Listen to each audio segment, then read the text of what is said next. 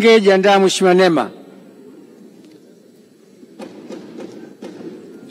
Asante Mheshimiwa Naibu Spika kwa kunipatia nafasi ili na mimi jioni hii niweze kuchangia hotuba ya Mheshimiwa Waziri Mkuu nikiungana na wabunge wenzangu waliopata fursa ya kuanza kuchangia, nami kwa dhati kabisa nitumie fursa hii kumpongeza Mheshimiwa Rais Daktari Samia Suluhu Hassan kwa namna ambavyo anajitoa kuwatumikia Watanzania.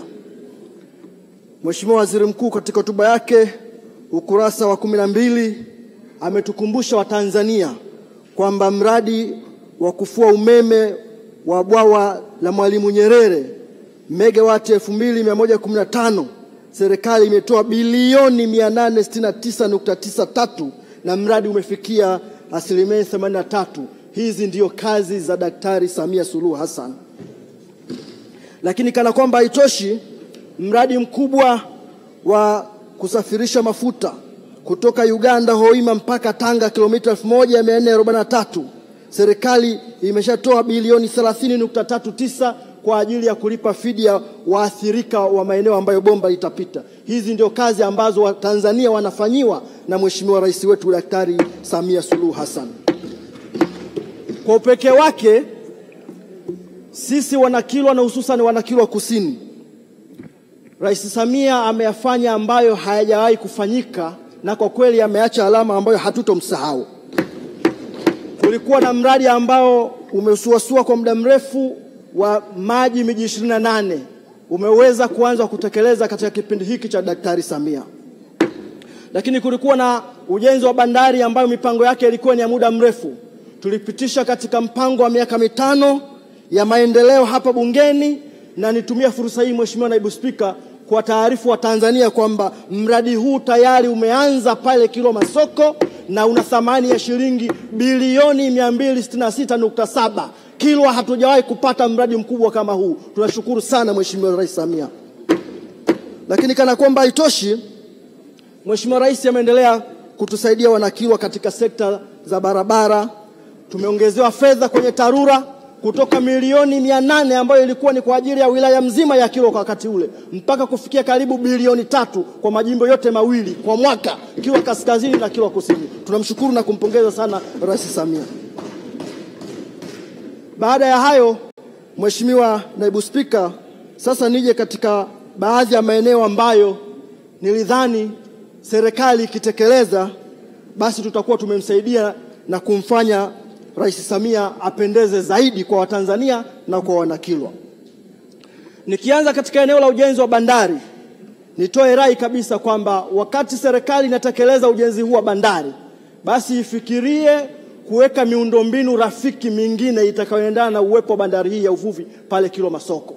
Kwa mfano, barabara iliyopo kutoka pale bandarini kuelekea na Ngurukuru kilomita takriban 30 haiko katika viwango ambavyo vitaendana na bandari hiyo. Nitoe rai katika bajeti hii barabara hii ipanuliwe na ijengwe katika viwango. Lakini pili, miundombinu rafiki na taasisi rafiki ambazo zitaendana na uwepo huu wa bandari ikiwemo viwanda vya kuchakata mazao ya bahari, ikiwemo e, chuo cha uvuvi pale kilo Masoko ni vitu ambavyo pia vinatakiwa vifikiriwe katika bajeti hii. Lakini sambamba na hilo, Mheshimiwa Naibu Spika, nieleze kwa masikitiko kidogo, pamoja na utekelezaji wa bandari ambao unaendelea pale kilo Masoko lakini wananchi wangu wapatao hamsini na nne bado hawajalipwa fidia kupisha upanuzi na ujenzi huu wa bandari. Nitoe rai kabisa katika kipindi hichi kifupi, ndani ya mwaka huu, muda si mrefu, serikali ifikirie kuwalipa fidia wananchi wangu wapatao hamsini na nne ili masuala ya ujenzi wa bandari yasiingie migogoro ya wananchi kudai fidia. Nikija katika uboreshaji na upanuzi wa viwanja vya ndege, Mheshimiwa Naibu Spika, tulipitisha katika mpango wa miaka mitano na kiwanja cha ndege cha Kilwa Masoko ni miongoni mwa viwanja ambavyo vitapanuliwa na kufanyiwa maboresho. Lakini kwa masikitiko niseme tu kwamba bajeti iliyotengwa kwa mwaka uliopita ilikuwa ni ndogo sana kiasi cha kukarabati runway ile kilomita 800 tu hivi kiasi kiwango cha changarawe. Nitoe rai kwamba kiwanja hiki cha ndege sasa kijengwe katika viwango vinavyotakiwa kwa maana kuongeza mita mia tisa zingine za runway, lakini kuweka uzio wa kiwanja cha ndege, lakini pia kuboresha eh, lile eneo la kupumzikia abiria. Lakini sambamba na hilo, Mheshimiwa Naibu Spika, nieleze tu kwamba dhana ya upanuzi wa kiwanja cha ndege cha Kilwa Masoko ni ya miaka takribani kumi nyuma iliyopita, na wananchi wangu walifanyiwa fidia mwaka 2011 2012 na ikarudiwa tena tathmini hii amini, tathmini samahani, sio fidia, tathmini ili walipo fidia mwaka 2011 12 na tathmini hii ilirudiwa tena mwaka jana mwezi wa nne. Kiasi cha wananchi wangu zaidi ya mia nne kumi na mbili wamefanyiwa tathmini hii, lakini bado hawajalipwa fidia hii.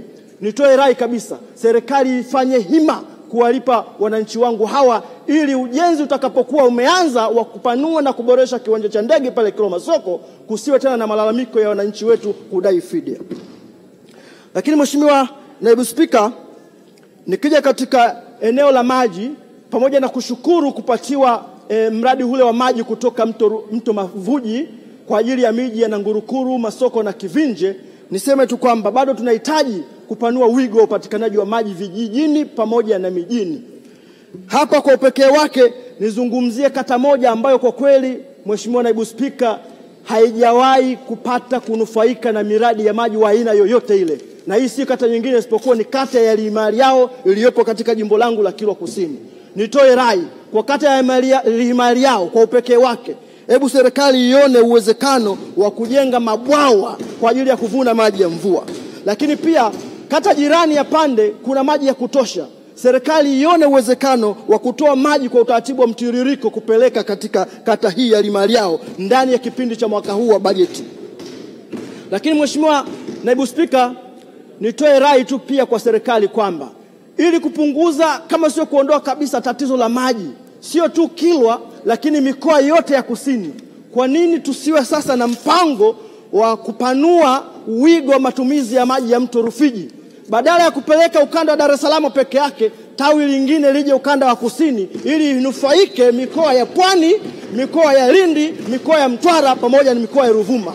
Mradi huu wa mto Rufiji kama utatekelezwa kuanzia kipindi hiki, Mheshimiwa Naibu Spika, na kuhakikishia kwamba wananchi wa mikoa yote ya kusini niliyoitaja, tatizo la maji au changamoto ya maji itakuwa ni baibai, na hapo itakuwa kwamba kweli tumewatendea haki. Mheshimiwa Naibu Spika, nije katika miradi ya kimkakati. Sisi pale Kilwa tuna miradi mingi ya kimkakati, lakini kwa muktadha wa mchango wangu wa leo niuzungumzie mradi mmoja tu ambao ni mradi wa kimkakati wa ujenzi wa stendi ya Nangurukuru.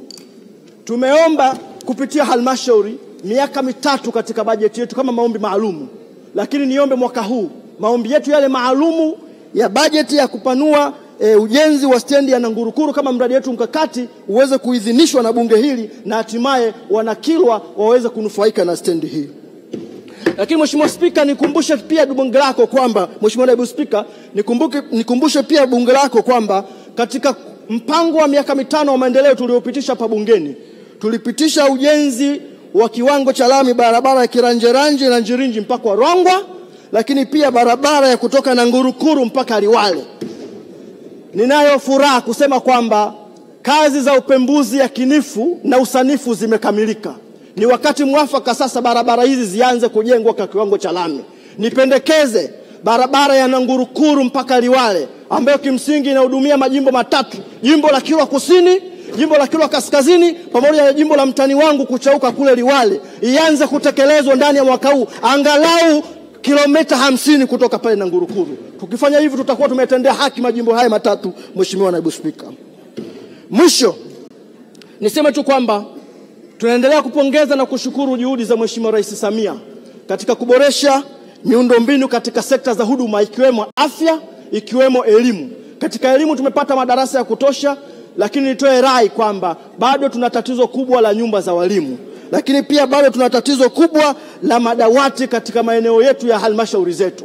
Niombe katika bajeti hii Mheshimiwa eh, Naibu Spika kwamba tatizo la nyumba za walimu pamoja na madawati liwekewe kipaumbele ili tatizo la ujumla la miundombinu ya shule zetu za msingi na za sekondari tuweze kulipunguza kwa kiwango kikubwa katika nchi yetu. Baada ya kuzungumza haya, Mheshimiwa Naibu Spika, naomba kuunga mkono hoja. Asante.